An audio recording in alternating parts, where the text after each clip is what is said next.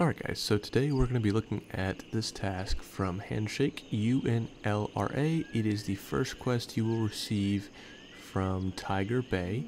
Um, basically, this one's a challenging one. You can do it solo, but probably better off doing it with a group.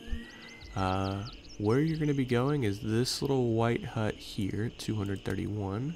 And basically how you're going to get there is go to Lima, or I mean, excuse me, India 2 you got two options. You can run down here along the coast and make your way back here.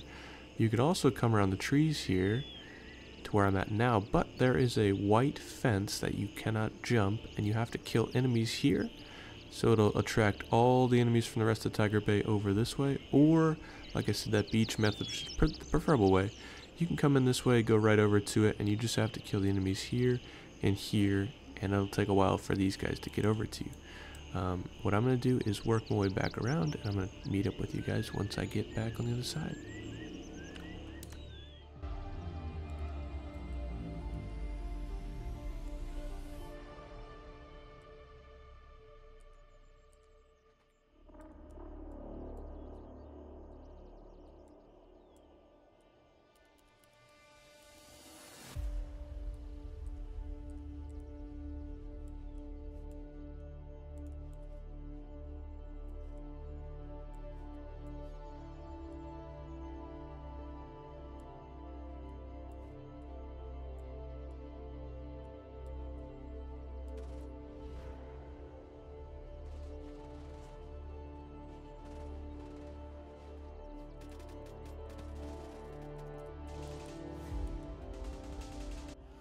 Okay, make this quick. Once you guys do get here, you're going to come right over here to this desk in front of this whiteboard and pick up the stuff. I'm getting shot right now.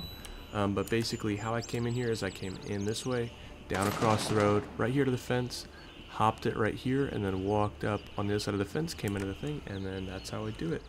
Um, but basically, I'm going to get out of here and uh, catch y'all later. But that's how you do the quest.